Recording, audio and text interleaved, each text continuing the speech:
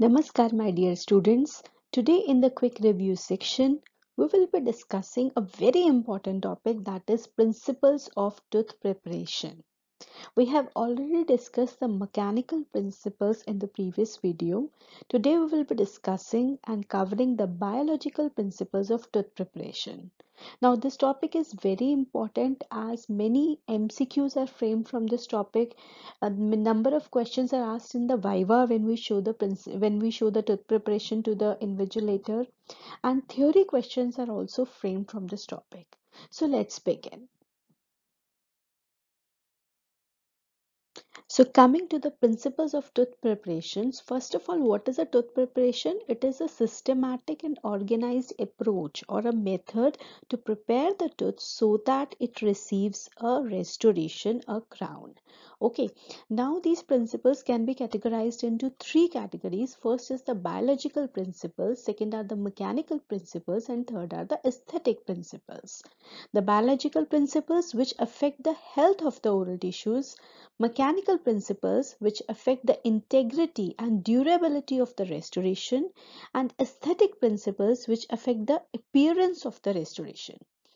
Now in this video we will be discussing the biological principles in detail.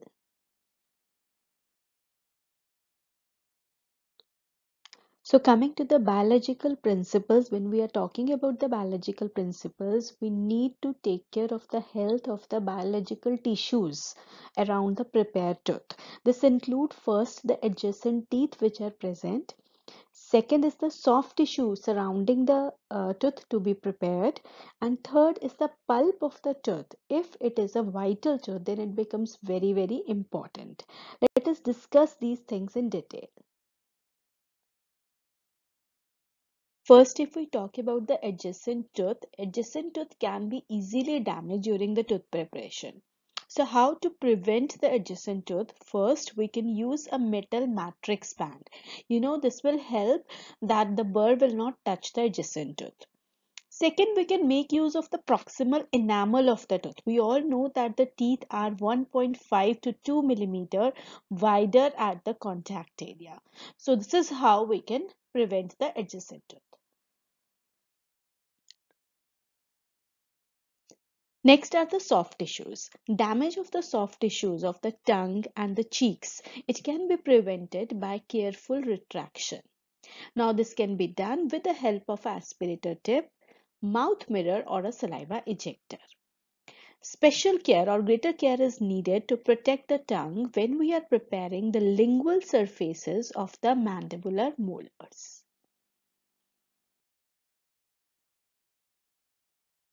Third is the dental pulp. You know, when we are preparing a vital tooth, dental pulp is very, very important. It can be easily damaged by three things. First, the extreme temperature. Second, the chemical irritation. And third, the microorganisms. So these all three can cause irreversible pulpitis to a vital uh, abutment. First is the temperature. When we are preparing the tooth, considerable heat is generated by friction. The amount of the heat generated depends on first the excessive pressure, second the higher rotational speed and third type, shape and condition of the cutting instrument. Now how to prevent this heat generation or reduce this? We use water spray you know water spray it removes the debris because the clogging it reduces the cutting efficiency. And second it also prevents the desiccation of dentine which is a major cause of severe pulpal irritation. Special care is needed when we are preparing the grooves and the pinholes.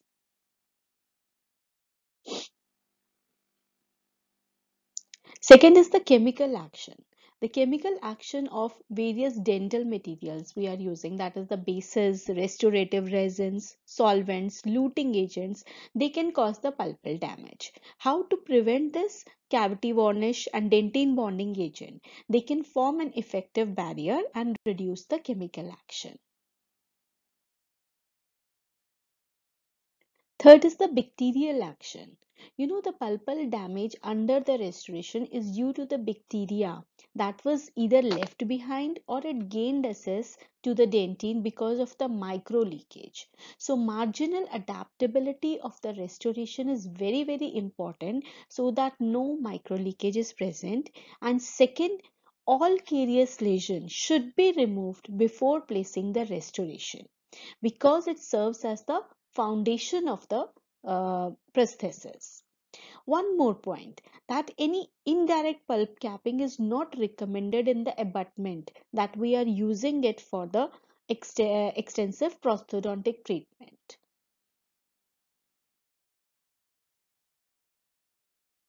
Next is the conservation of tooth structure. Whenever we are talking about the biological principles, we are saying to conserve the tooth structure as much as possible. Now, this can be done first by the use of partial coverage crowns rather than complete coverage restoration wherever possible. Second, the preparation of the teeth should be minimal and that can be done with a minimal practical convergence angle.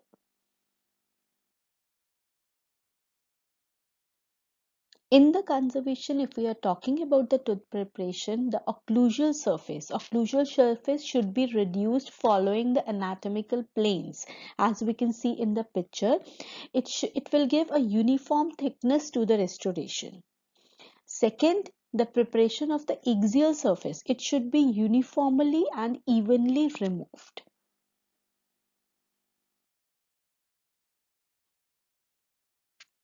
While conservation of the tooth structure, first of all, if necessary, tooth should be orthodontically repositioned. It should not be over reduced to correct its tilting. Second, selection of conservative margins should be uh, chosen. Okay, but it should be compatible with the principles of the uh, tooth reduction. Third, avoidance of unnecessary apical extension of the preparation. We should remain supragingival as possible.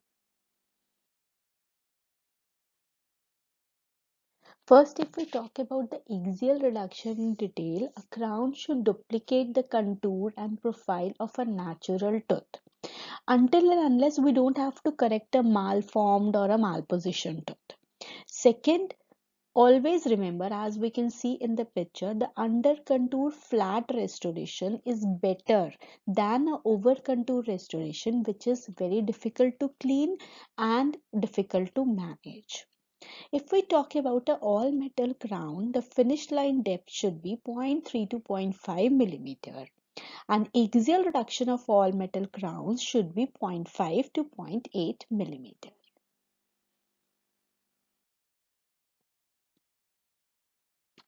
Next we come to the occlusal reduction.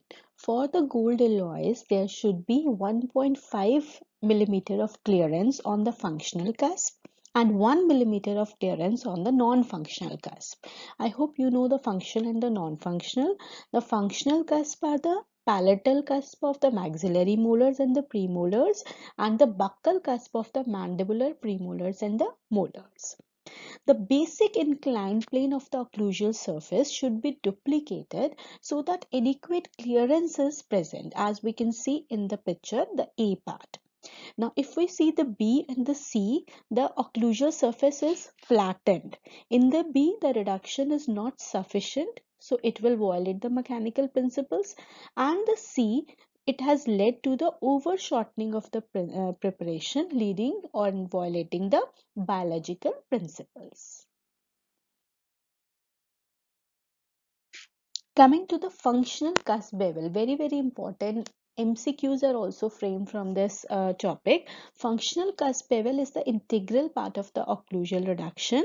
It is given on the lingual inclines of the maxillary lingual cusp and buccal inclines of the mandibular buccal cusp. From the name itself, it is given on the functional cusp, bevel on the functional cusp. We can see in the picture, it should be 45 degree or parallel to the opposing surface as we can see in the picture.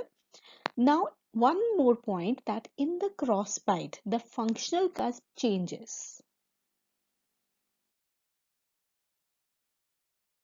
Now the question arises, what will happen if the functional cusp bevel is not placed? What will be the problems? First, as we can see in the B, that extreme thin casting will be present at the junction of the occlusal and the axial reduction shown by an arrow.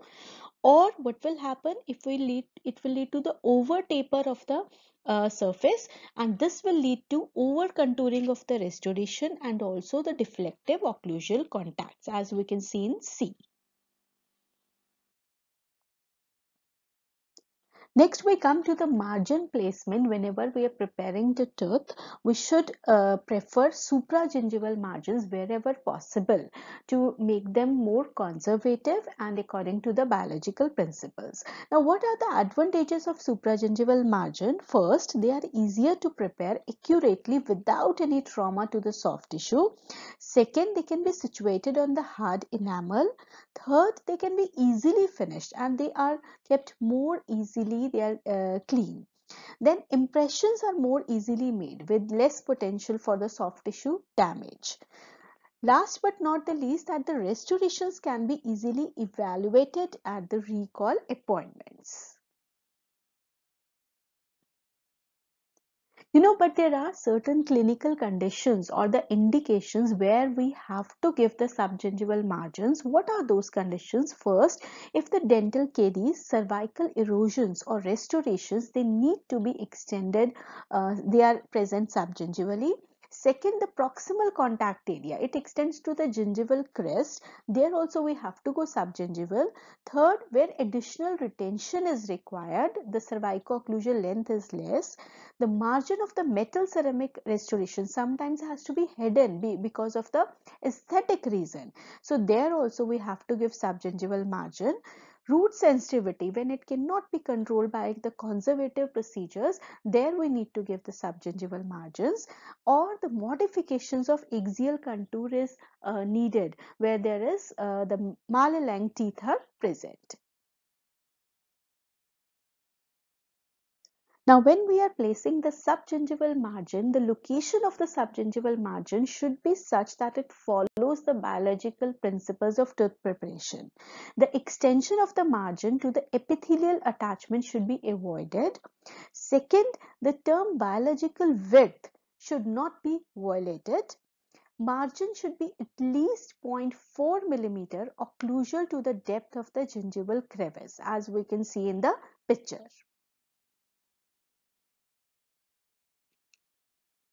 Next is the margin adaptation. Very, very important for the biological uh, principles.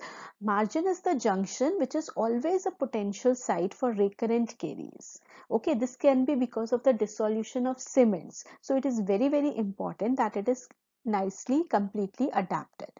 A casting has to be made uh, fit with 10 micron and porcelain margin should fit uh, 50 micron according to the values. The prepared cervical margin, it should always follow the scalloped anatomy of the alveolar bone, the attachment and the gingival tissue. It should not be flattened. The most common error is to flatten the cervical margin in the interproximal area and this violates the biological width.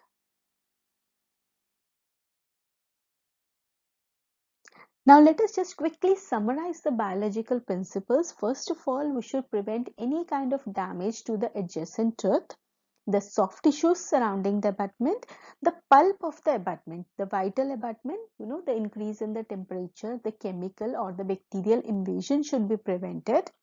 Next, we come to the conservation of the tooth structure whenever we are preparing it, uh, both axially and the occlusal preparation. Then the margin placement should be supragingival as much as possible. Next is the margin adaptation should be such that it does not lead to the recurrent caries. So that's all for this topic my dear students.